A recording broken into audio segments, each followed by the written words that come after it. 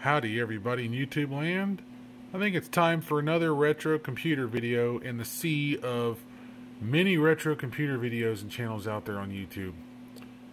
Anyways, this one is a PowerBook something another. Let's see. I picked this guy up off of Discord a while back. I've just never done a video on it. And, ooh, I don't like that cracking. Oh, yeah, I don't think I want to open that right now. Oh boy, I have to figure that out later. Um, who knows where it came from, but I picked it up from somebody on YouTube or not YouTube, Discord,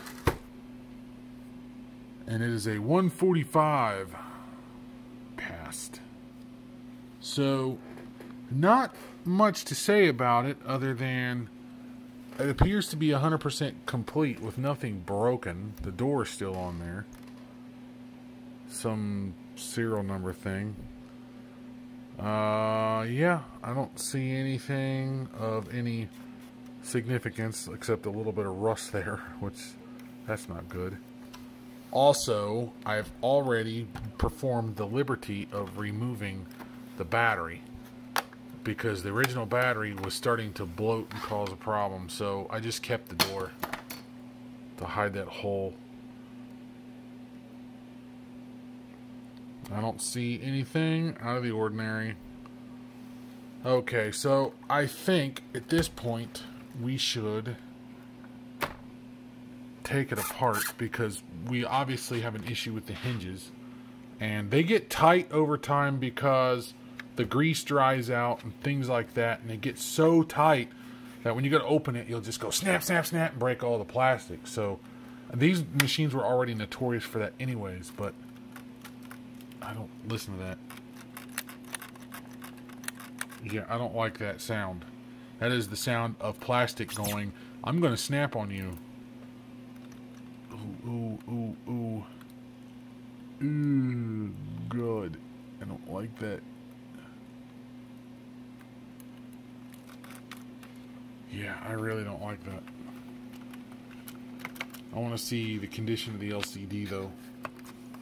I'm very scared to lift it up because that the hinges are a lot tighter than they should be.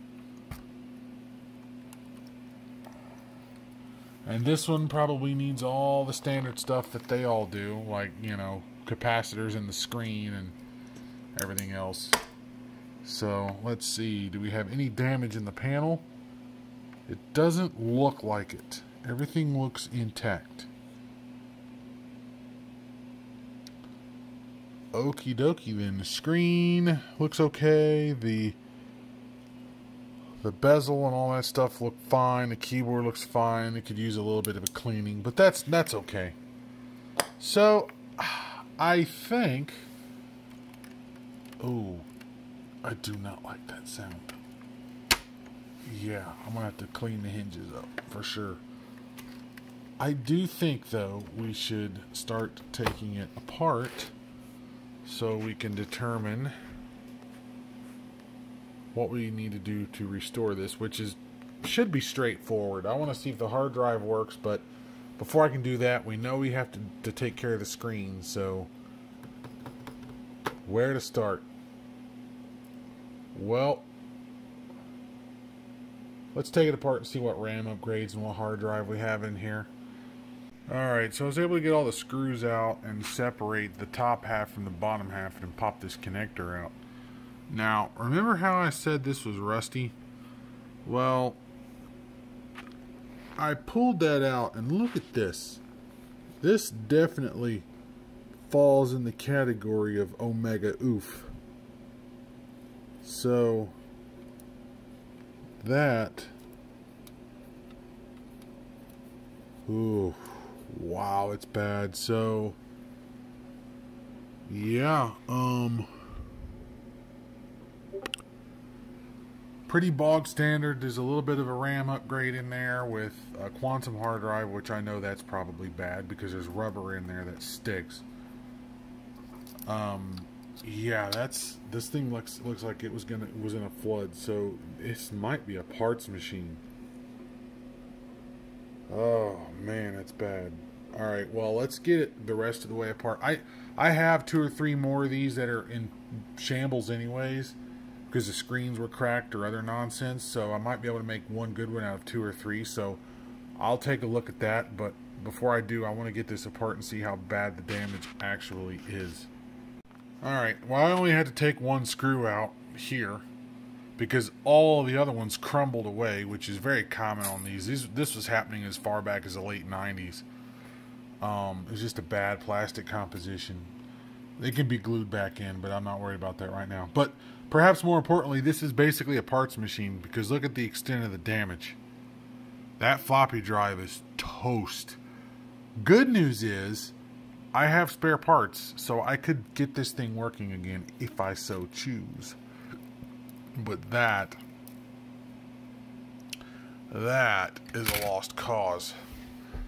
Uh, I may have been in a flood. I don't know. Um, perhaps more importantly, I need to see the condition of the LCD because I have other power books I can use for parts that have cracked LCDs or whatever else going on.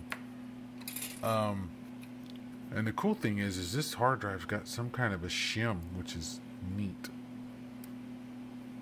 Anyways, so that guy is toast. Probably. The drive itself might be alright, but the problem that these have is there's rubber in there that disintegrates. So I can probably fix this drive, but I need to have the parts to do that with, which this might be what gets me into 3D printing because sure, I can put a BlueSCSI in here, and I, I have one, so I can put a BlueSCSI in there and go along my merry way, but that's no fun. What's more fun is fixing the original drive. And I can I can get the tools to remove a multiple platter drive and if I this is, might be what gets me into 3D printing because then I can get some PLA filament and 3D print the rubber stoppers that goes in these drives and just make a new you know rubber thing and put the drive back together and it'll be good to go. But yeah, there's this this thing is a mess, man. Wow, it's bad.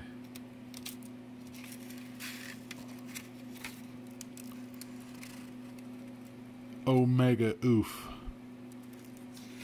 Alright, well, let's get the motherboard out. I want to see how bad the motherboard is.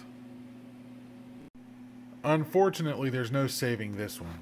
Besides the obvious with the floppy drive is just too far gone, but this standoff, all the plastic standoffs all broke off, which is common. I can glue those in, but this one is rusted in place, and of course that would be the one where it's going through the shield. So it's not it's not coming out. This thing is there's this there's no fixing this one. So I have to go through my parts bin um, and see if I have the proper parts to put something together because at least this base, I have all of the pieces, so I can glue them all back down.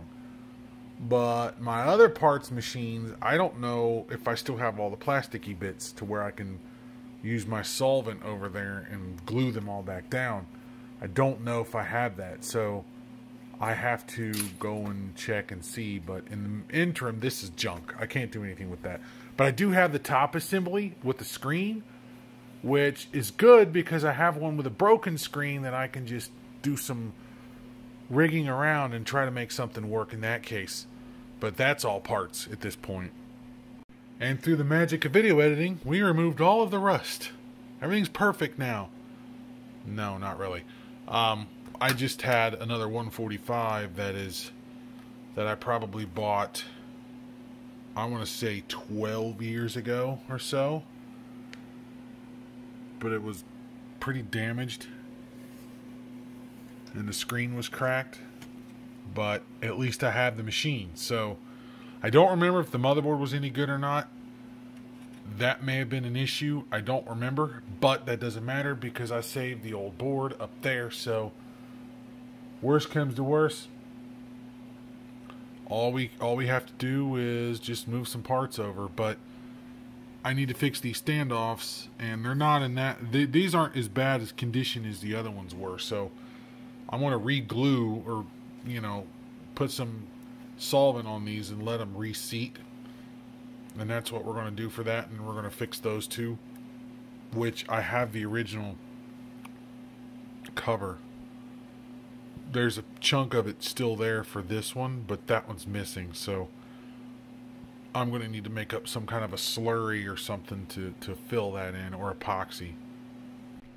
I was able to take the screen apart, and luckily it went pretty easily without any fanfare. So the standoffs on the display and hinge area is not cracked, but what I did do is take some of this cement and I softened it up a little bit so it would try to mend any cracks that might be forming and I reinforced the hinge area with epoxy. So that hopefully will help with the torsion stress. Also, I need to relubricate and re-grease these hinges because they are extremely stiff. And I think that's what breaks a lot of these. But perhaps more importantly, we need to get to that LCD display because it's pretty rough with the capacitors. So let's work on that. So I got the screen out now. Um, it's real easy. Once you have the screen, you just take the screw out of this and you bend all these tabs out and the whole metal plate comes off. And then you can just carefully remove this screen, which I'm going to have to clean it anyways. But, um, so what we need to do is we need to start recapping this because all of these PowerBook 145, 140, 170, all of them need or you know new caps in the display. So I don't have the exact ones on hand. I got some I can probably mix and match. So we have 3.3s at 35s we have a 22 at 35 and then we have 100 at 6 which I have those so we're gonna go ahead and get this guy recapped using my microfiber cloth to clean off the backside and I'm using my can of compressed air to um, clean off as much as the debris as I possibly can on the backside because I don't want debris trapped in the backlight. Um, and now I'm ready to put the cover on and then we'll clean the top of the screen. Display has been reassembled and it's clean as can be. Not perfect, but as long as there's no debris trapped in the backlight, I'm cool. Alright, so now I can set this guy aside and we can work on the next thing. Which is this right here. So, this thing is absolutely filthy. First off, we want to make sure the cable's not torn, and it doesn't look like it is. I think we're okay there. Um, yeah, and it's kind of sticky too because it's got two-sided tape in various spots. But the cable looks okay, but this we've got some rust in here from water damage and all that fun stuff. So we got to take this guy apart and we need to clean all of this out. It's nasty. I want to scrub it and I want to um, see if there's any caps in there that need replaced and all that fun stuff. So let's get this thing torn apart. So I'm taking all the screws out and I pull the inverter out and it's nasty. So I got to look in my stash and see if I have another one, but perhaps more importantly, there is a capacitor we have to change on that. That purple one is a polymer cap. Those are hit or miss, but that green one definitely has to go. But that is crusty. So, we got to take care of that. Um, but I want to get this board out. I'm going to take this battery out. I'm not putting another one back in because I'm not going to use this machine enough to justify buying a battery and putting it in there just for it to leak later. So I'm going to pull that out. It is not going back in. And to no one's surprise, that top cover is nasty from when it was probably sitting underwater. So, all right, um, let's get these hinges out. Let's clean them up and work them a bit. And then I think we can grab some of my solvent and you know reinforce all of those standoffs and make sure they're not going to break and clean it up. I was able to get all the covers off and the remainder of the screws plus get that cable out and sure enough look at that. This is going to be a lead pipe cinch So this is why it's so stiff. I got that hinge removed, but that screw is rusted solid all the way through and it will not come out. And it's rusted all the way up inside the hinge. That's why it's stiff and won't move. So I'm going to have to go through my junk bin and find a new top cover because that's that's not going to work. We're pretty much screwed at that point. I only have one other top cover and unfortunately it's smashed to bits. So that's not going to work. I can't do anything with that. But the hinges and stuff are relatively intact. So what I can do is I can pull this hinge and because I have a spare keyboard and just in case I need it I'll compare the two keyboards and replace get the best one out of the two and that came relatively local so I have that um, my thought process here is I can grind that out, drill it out or something, then I can probably see if I grind that out, I can take my soldering iron, heat that up, and I can push that out from the other end. Do the same thing over here because these are just inserts. So I can push that out and then push the new one in. So yeah, let's do that. That's going to be painful, but that's the only that's the only solution I have. So let's drill that out. Get rid of this. This is trash. And then push that out from the bottom side because it comes in from back here where it's pressed in. Just like you see there. So if I if I push that out from the top side, I can push a new one in. And then use my cement to try to, you know, glue all that back in. But we'll see. That's the only what only thing that I have on the top of my head that I can do here. And just reuse this top cover. Alright, so I got the head drilled out of there now. Um, so this, yeah, garbage. So we're to throw that away. And then I'm to try to see if I can't Oh man, this is probably a terrible idea. But it's the only idea I got. So we're going to heat that up. Try to push that out of there. And just like that, I was able to push it out. And there it is. Whew, that sucker's still hot. Yep.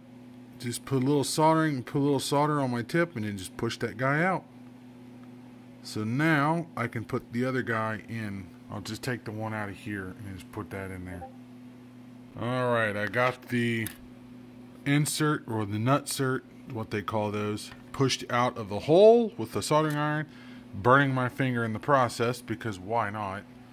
So that's out. I got all the other bits stripped off that don't need to be in here because this is what happened to it. It's pretty much garbage. So that can get disposed of. So that's now parts. I got the other one. I cleaned the other one up. It's I'm waiting for it to dry. Um, so I did pull the inverter off.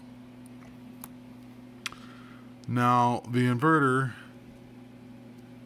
this one's in much better shape, so I'm inclined to spray these out with some uh, fader lube, replace this one cap, and just use this one and get rid of that one. So probably going to do that. And now I have the new nutsert installed. And literally all I did was just soften the plastic a little bit with my plastic weld and push it in there. I had to do it two or three times and now it's it's in there. So let's flip it over and take a look on the other side. And yep, she is installed. So there's a little bit of plastic in the way. That's not a big deal. I can literally just clean up some of that crap while it's still soft. Next thing to do is to grab a screw and make sure it threads in the hole and it does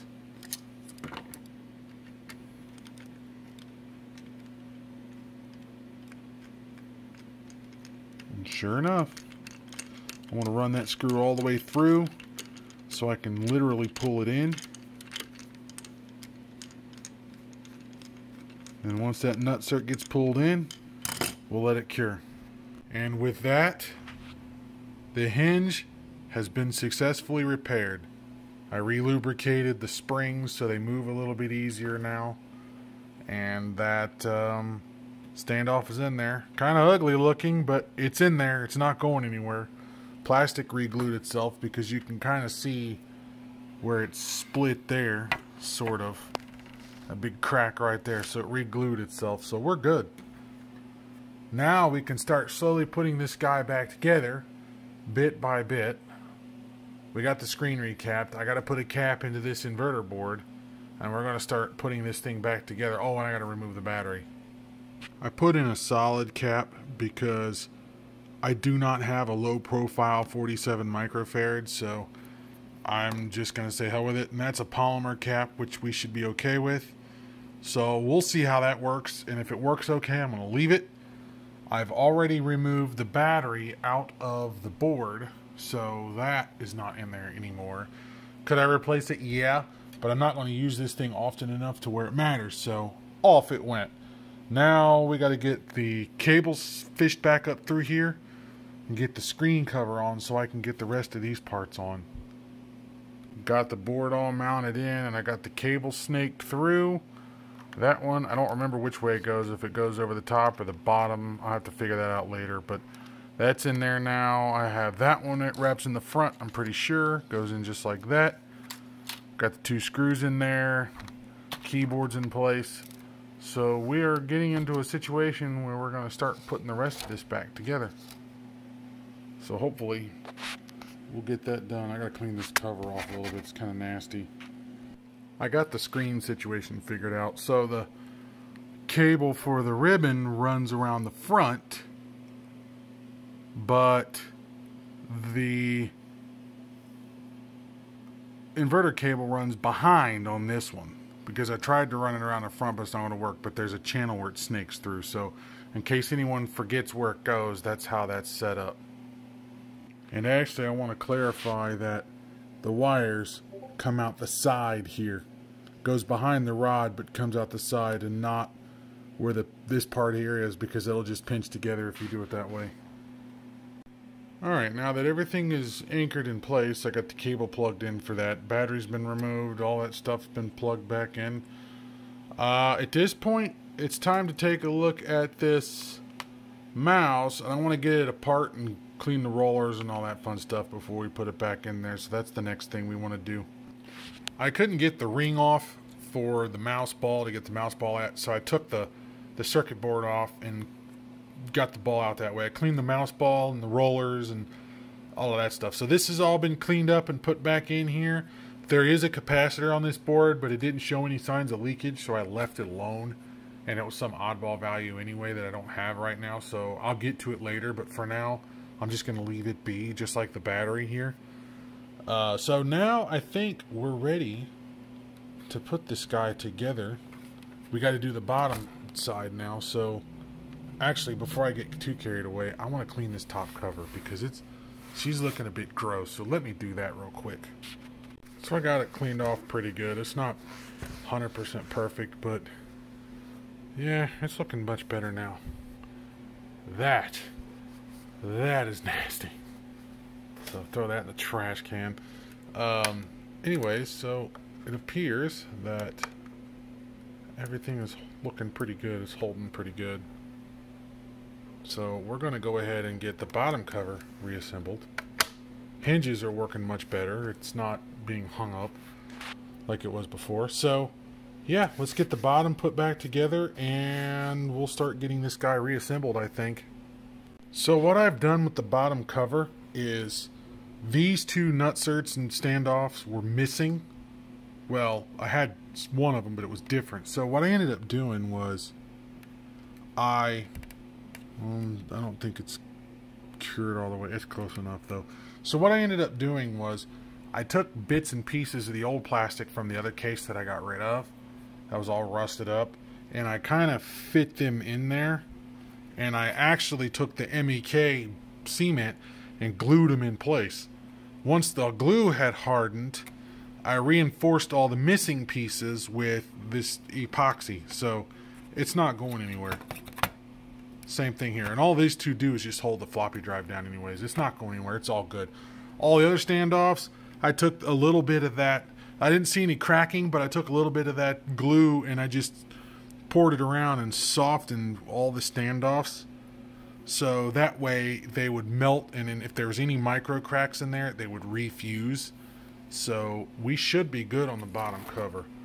The back of the bottom cover is it's in good condition. So at this point, let's start putting it together. But what I want to do though is as I'm putting this together, I'm curious if the original hard drive is still good. I doubt that it is because uh, yeah, we have that, but also we have here it is green crusties right there. So I don't think this drive's any good, but let's entertain the thought and try it anyways. I don't think it's going to work, but what we do have is a BlueSCSI. This is an early run, so I got to get an SD card set up for this guy, and then we're going to put that in there and set that up for this machine.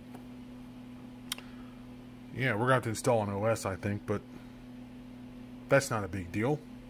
We have the drive, the good drive, and then, yeah, let's try it out. But I do want to try this and see if it works. Just out of sheer amusement, because, yeah, this drive's junk. But it does have that little shim, which is I've never seen before. Because this is not a full height drive. So the non-full height drives installed by Apple, they put the shim in from what I understood. Uh, yeah, so start getting the stuff put back together. Um,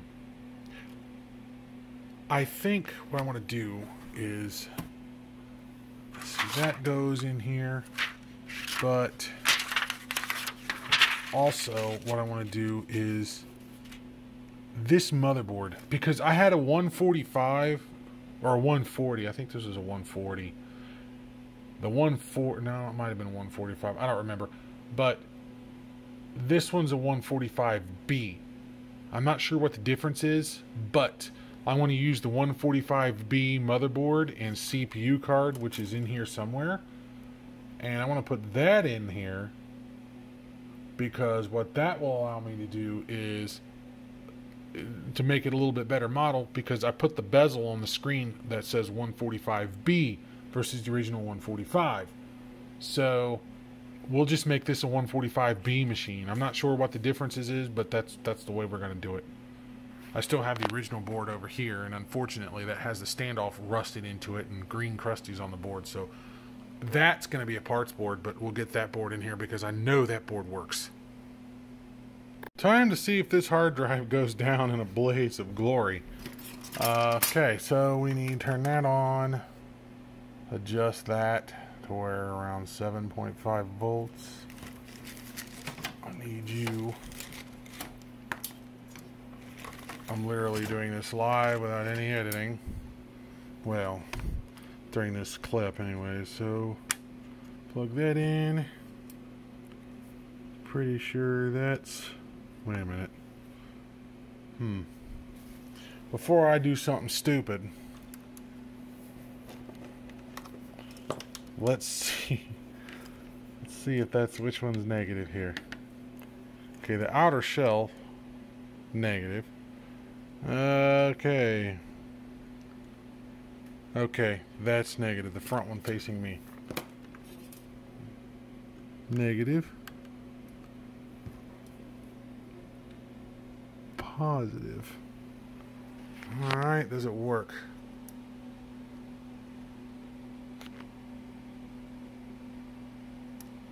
That is a negative. No power. I may not like the fact that I don't have the top cover plugged in, although that shouldn't matter with this. There it goes. I was hitting the wrong button.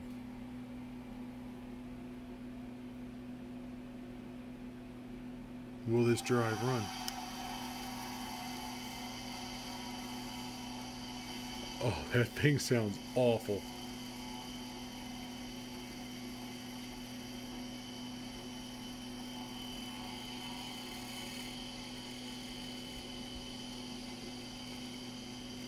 That thing sounds awful.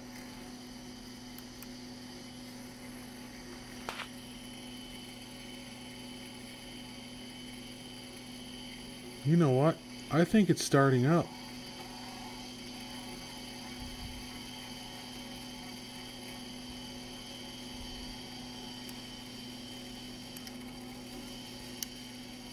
No, maybe not.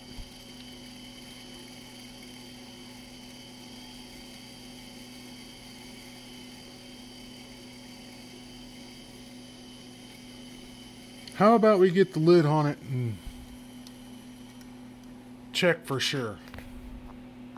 Well, here goes nothing.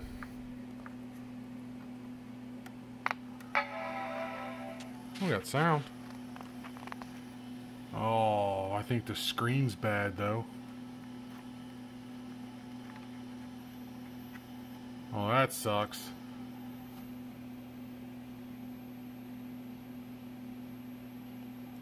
We have a bad screen. Or cable. Maybe I tore the cable. Anything certainly possible.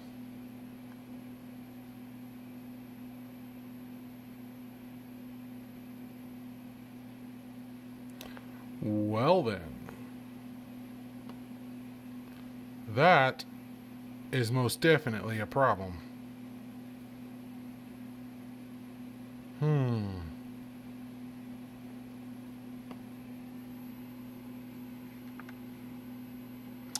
Well, further troubleshooting is required. Alright, now we're getting somewhere. Turns out the CPU card's bad, so I swapped the CPU card from the other one and now it works. The CPU card that came out of the rusty one is the one that's in there now, the 145 card, and not the 145B card. So, my 145B card is no good. Ah, not surprising. So something's definitely went bad on that one. But at least I got it working now. So, but the hard drive is definitely junk. No surprises, but hey, it was worth the entertainment value, wasn't it? So yeah, um, I think we can finally move forward. Let's take the hard drive apart for ha-has, because why not? I'm curious how bad it is on the inside. That is not good. Very not good.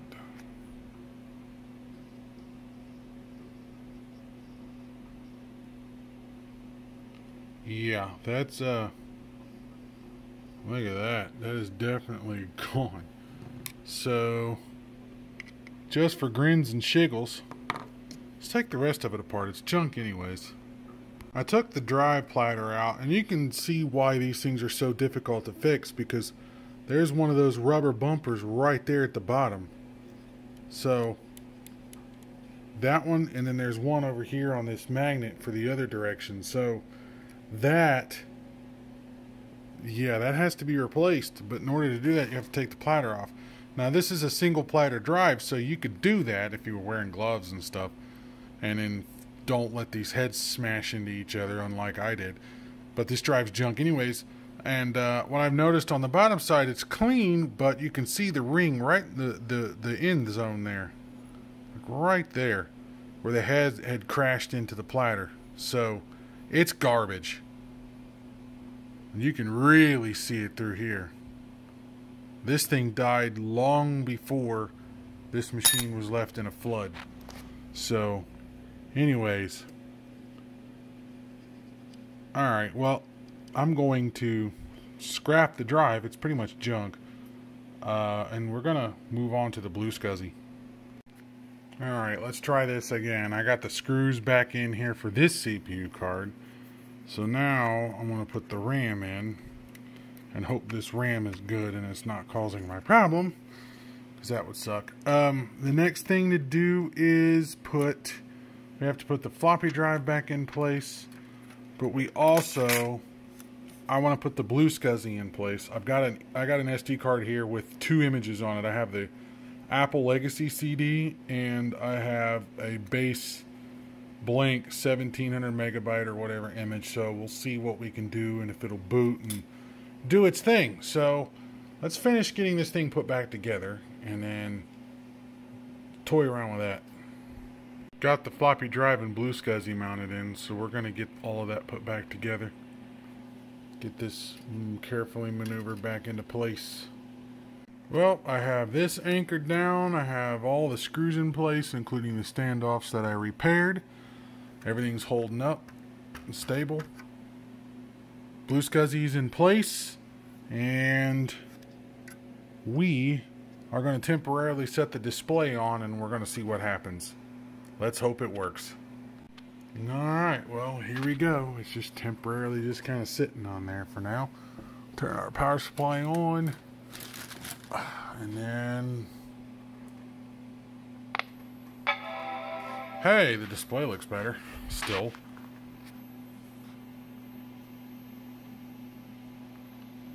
Well, let's hopefully we get a blue SCSI.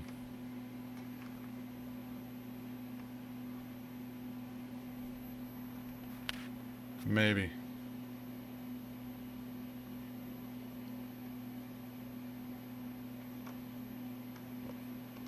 Hmm. Blue SCSI does not work. Alright, well... I don't know why it doesn't work, but it does not work. Hmm. Maybe I didn't do the images right, or maybe the firmware on this Blue SCSI is too old. But we got to do some further investigating. We'll have to grab a boot disk and see what we can do with that. Well, now that's interesting. It started up finally. As soon as I, as soon as I um, put this floppy disk in there, which is a System 6 disk, it spit it right back out, and then it started booting from the Blue SCSI. That's weird.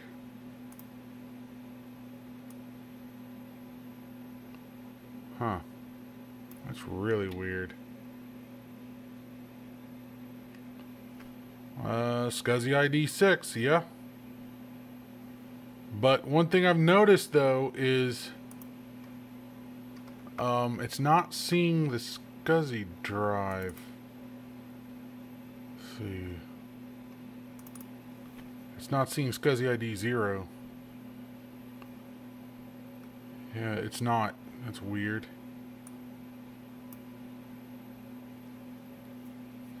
Okay. Wow, this thing's fast. Blue SCSI's really fast. I've never used one before. Let's see, internal HDSC setup. Nope, does not see anything. That's interesting. Keyboard doesn't work. And come on. So my roller ball's not working very good either, even though I cleaned it. So let's see, drive setup.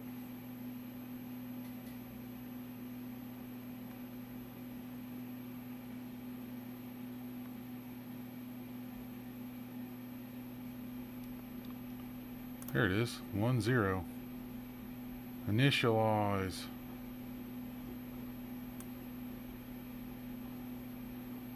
Initialization options. Nah, we don't need to do any of that. See, that, yeah, I gotta fix that.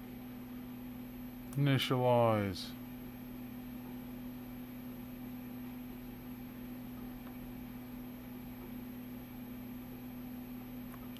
Alright. Okay, responded to the keyboard that time. Let's see. Macintosh HD. Yeah, we're good. Alright, yeah, so it's working now. That is weird why BlueSCSI acted like that. What the hell happened down here? Interesting. Anyways. Oh. Alright, Apple System Profiler. Nope, doesn't work on anything that's 68K. I'm starting to notice that. It moves side to side, no problem.